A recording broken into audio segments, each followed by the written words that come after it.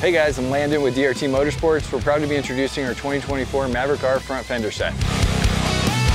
They're made from high impact ABS, so they're super durable. They have an aluminum inner skin that's powder coated black, and they're designed to keep mud, sand, and debris outside the car. So your ride doesn't look like this.